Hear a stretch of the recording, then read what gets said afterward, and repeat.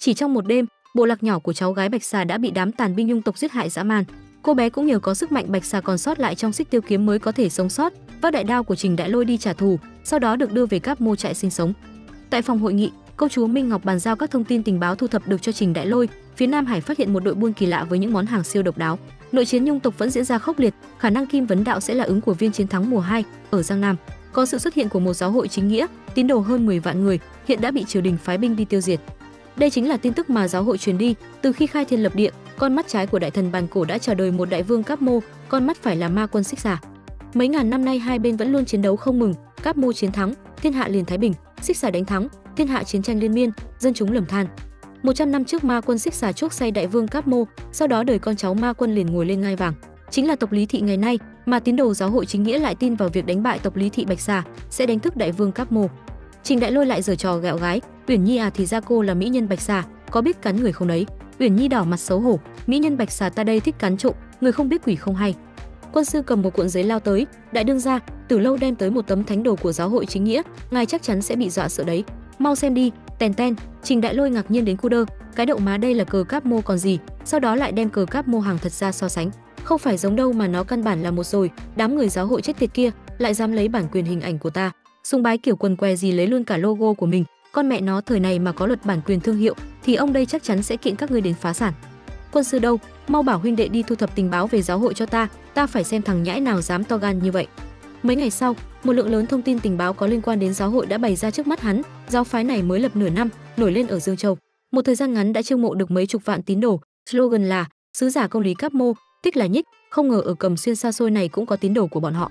Mấy huynh đệ nghe ngóng được rằng, tầng lớp thấp kém nhất của họ là những dân đen bị địa chủ bóc lột tàn bạo, người quản lý bọn họ là tín trưởng, người đứng đầu phía trên gọi là thần tướng. Rất nhiều chuyện đều do hắn ra mặt, bên ngoài thì được gọi là người lãnh đạo cao nhất của giáo phái, nhưng thủ lĩnh chân thực trong truyền thuyết thực ra là thần chủ đứng sau thần tướng. Thần chủ nhận lệnh của thần tiên ký thác, che chở. Người này bản lĩnh rất lớn, có thể hô phong hoán vũ, vứt vài hạt đậu liền biến thành binh lính, hơn nữa lai lịch cũng rất khó tra xét, chứng tỏ là người rất có thực lực. Hiện tại triều đình cũng bắt đầu phái người đi vây bắt trừ khử. Trình Đại Lôi thấy câu chuyện quen quen, chỉ sợ triều đình hiểu nhầm họ phản loạn, nên đang tính đến chuyện đổi biệt hiệu. Tiện thể hỏi ý kiến của Uyển Nhi, ta nên đổi thành Vịnh Xuân Diệp Vấn, đồ đệ Thanos, siêu nhân cùng phong hay đội trưởng Marvel, nhất định tên phải nghe vừa ngầu lòi vừa có hình tượng mới được. Uyển Nhi cho rằng nên gọi là giáo chủ táo bón thì hơn, dù sao ngươi cũng là chúa tể bị táo bón còn gì.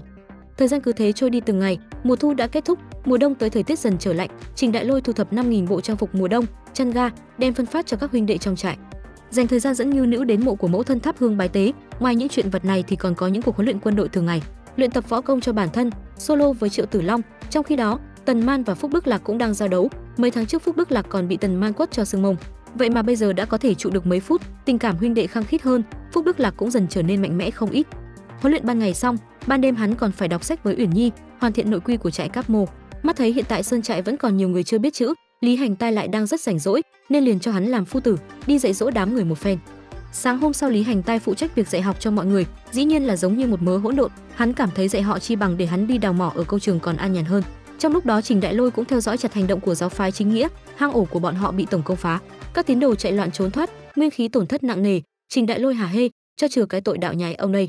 Mỗi ngày sơn trại cấp mô đều vui vẻ mà trôi qua, tiến độ xây dựng sơn trại cấp 3 cũng chuẩn bị hoàn thiện, mùa đông đến các công nhân lĩnh lương xong cũng lần lượt rời đi.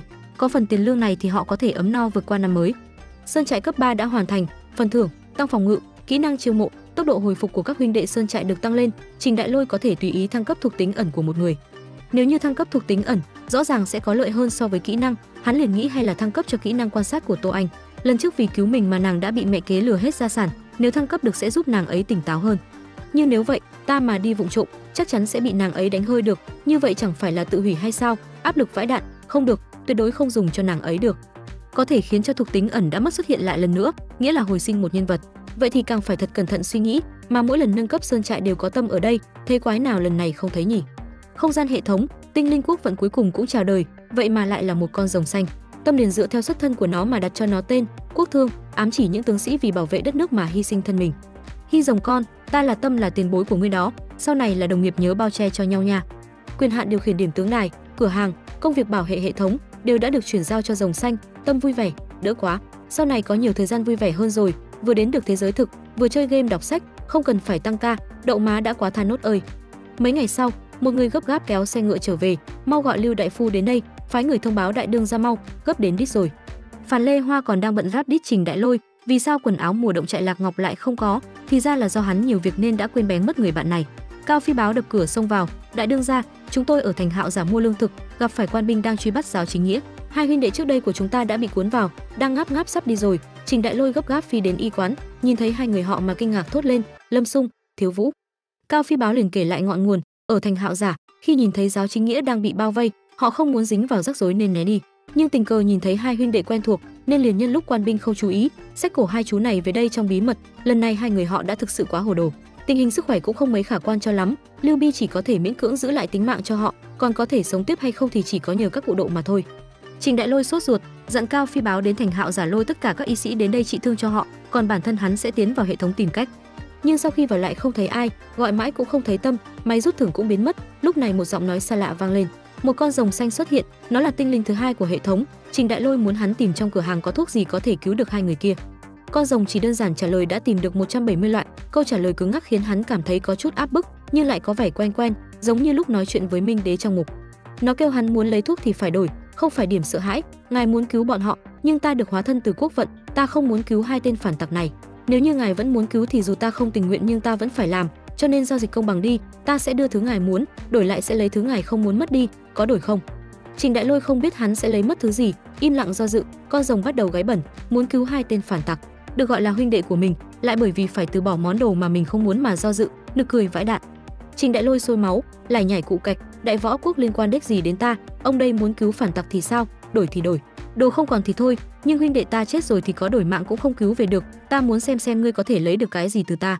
Thế thì ta sẽ lấy thứ mà ngài không xứng đáng có, thẻ người tốt, ở trong mắt ta ngài là một kẻ ác, trong giây phút mà thuộc tính bị lấy ra, linh hồn giống như bị xé mất một miếng, tinh linh lúc này cũng cảm nhận được có chuyện xảy ra, con rồng lại bắt đầu láo nháo, một tên sơn tặc mà lại bao biện cho kẻ phản tặc.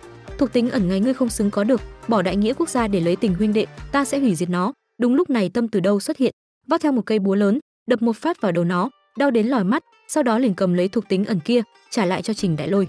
Con rồng ức chế lường nguyết cô nàng, Trình Đại Lôi thấy nguy hiểm liền định giúp đỡ, tâm đuổi khéo hắn mau đi cứu người đi, chuyện trên trời cô sẽ giải quyết, chuyện thiên hạ mới là chuyện mà hắn phải quan tâm. Sau khi trải qua chuyện của Bạch Xà và Ngưu Nữ, cô liền cảm nhận được thế giới rất nhanh sẽ đại loạn, còn có rất nhiều dị thường quấy phá. Sau đó lại một phát lao tới, đập trúng ót con rồng láo toét, càng đánh càng hăng, dã chảy chan chát. May rút thưởng đứng đằng sau cảm thán, đây rõ ràng là một bên bị ăn búa thì có, đại tiểu thư điên lắm rồi. Vất vả bảo vệ nó bao lâu trước khi nó ra đời, thế mà vừa mới nhận việc liền suýt nữa phá hỏng. Nó hóa thân từ linh hồn dũng sĩ hy sinh vì tổ quốc, nhưng bộ dạng này rõ là dũng sĩ thì ít, quan liêu thì nhiều. Quốc gia có bệnh thì mới dẫn đến đức tính tha hóa như vậy, và lại nó trước khi hình thành, được bách tính tế bái trăm năm nên càng hống hách không coi ai ra gì. Còn gia xảo không dám lộ mặt thật cho tiểu thư, thế mà tiểu thư vừa rời đi liền lộ bộ mặt thật ngay được, lại còn dám ý định chi phối vận mệnh người khác. Tiểu thư sẽ không nhẹ tay đâu, chật chật, ra tay dã man quá, gãy miệng nó cả sừng rồi, so với lúc đánh tôi năm đó thì nặng hơn nhiều. Sau khi chút giận xong, Tâm liền hỏi thăm, linh hồn cậu không sao chứ? cưỡng chế cướp đi thuộc tính có thể gây tổn thương đấy. Mày rút thưởng kia, không phải ta đã dặn ngươi dẫn con rồng ngáo này đi học việc à, lại dám trốn việc đi chơi game có phải không? May rút thưởng sợ tái mặt, vội vàng đưa hắn hai viên đan dược, mau cầm đi cứu người đi, để nguội thì không ngon nữa đâu. Cảm ơn đã mua hàng, mỗi viên 100 vạn điểm sợ hãi nhé. Cảm ơn các bạn đã theo dõi hết video. Nếu thấy hay, có thể cho mình xin một nút like, comment ở mỗi video nhé. Điều này sẽ giúp mình có thêm động lực ra được nhiều video hơn, mà nếu không biết nói gì thì thả tim vào bình luận nha. Bên mình cũng làm các bộ review khác xuất hiện trên màn hình đó, bấm vào xem trong lúc chờ video mới đi ạ. Cảm ơn và hẹn gặp lại.